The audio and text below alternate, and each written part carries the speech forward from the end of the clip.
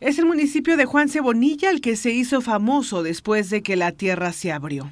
La localidad de Santa María Zacatepec, ubicada aproximadamente 40 minutos de la ciudad de Puebla hasta hace 10 días, solo era el cruce para muchas personas entre San Martín Texmelucan y Cholula, identificado únicamente por su iglesia azul de gran tamaño o por su reloj elevado sobre una torre de ladrillo que llama la atención de propios y extraños.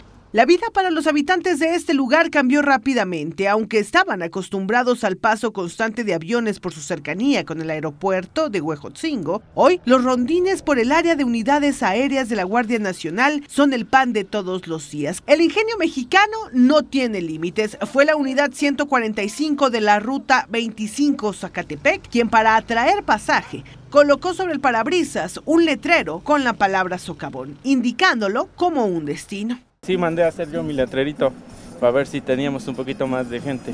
¿Y qué tal resultó? Este, sí, gracias a Dios, sí. Este, estamos trayendo gente a Zacatepec. ¿De dónde trae a la gente? ¿Dónde lo abordan?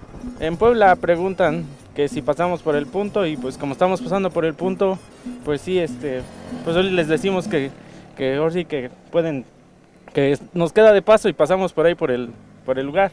No se arriesguen, es un tema de riesgo y la verdad en este momento yo invito a todos que tengan mucha precaución, la gente le decimos que no venga, lo está haciendo los sábados y domingos. Es ese humor característico de los mexicanos que lo lleva a burlarse incluso de sus propias desgracias. Con imágenes de Albertico Hernández informó para hacer noticias, Andrea Casco.